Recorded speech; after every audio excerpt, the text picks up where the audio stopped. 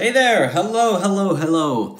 I wanted to take today to give you a seriously effective guideline at how to actually get quick results from your various business ventures. Now, most people get stuck at the beginning of their business at the planning stage where they basically sit with themselves and think, how do I get this done? Who am I going to market to? How do I market to them? What exactly will be the product?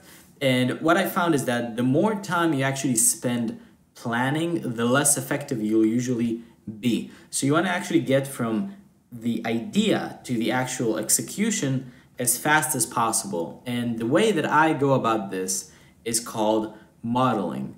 Basically, instead of figuring out something on my own or having the audacity to think I can just come up with something and it will work, or even having the obliviousness to not realize how much time it's going to take until you figure something out through trial and error, the best tactic you can use is to actually take something that's working well already, copy it completely, uh, while of course making it your own, but also remaining as as close as physically possible to the original structure, and then gradually taking away the things that you don't want and, and seeing if the results stay consistent.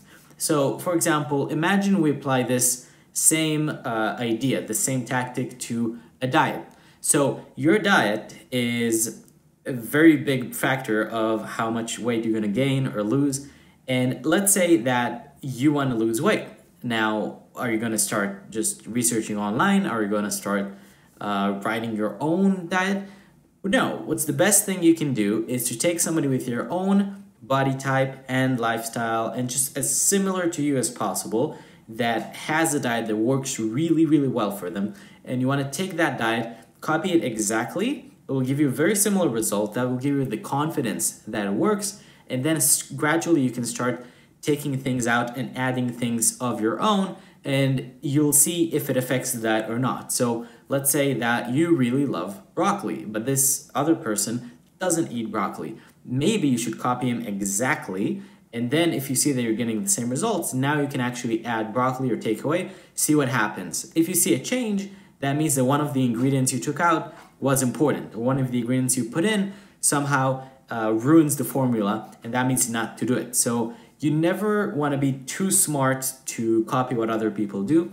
And as Picasso says, uh, good artists cop uh, copy, great artists steal. So let's say we do that for business. The way we go about this is we go to our competitor's website, or not necessarily even competitor, just person you want to be like.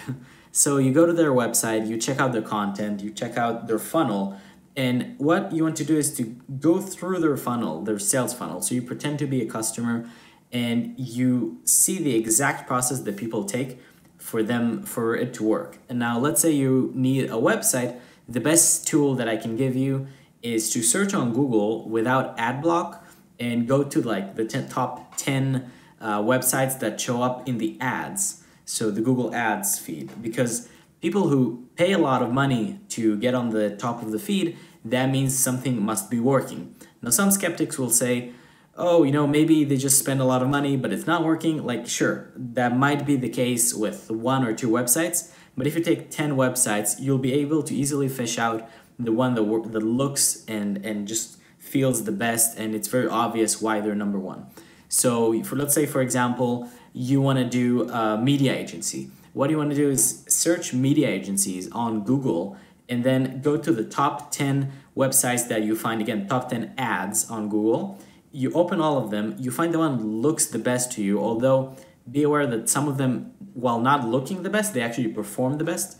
So some websites look very flashy and they're actually very good but some websites don't look good but they're extremely effective at getting sales so you all want to want to have some common sense about it. How do they actually get their traffic? Just think about it. But again, if they're using Google Ads, that's a good indication that it's very simple traffic. Because again, if you search media agency on Google and somebody's tra- uh, ad comes up at the top, that means that they pay a lot of money to make sure that they're at the top, which means it's probably very profitable for them. So then the next step you do is actually copy the entire website, pretty much an exact copy Now, this is an art form that I'll get into in the future and actually take some skill. I do that professionally. If you need that, contact me.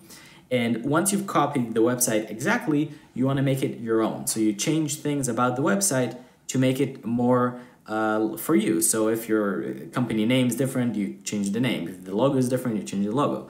Now, we're not trying to copy, to steal content. We're trying to take the essence of it. So you can have the same design, the same colors, everything is legit. There's no copyright to it, but obviously you can't copy somebody's content. So you want to make it your own, but you can copy uh, other than that as much as you want.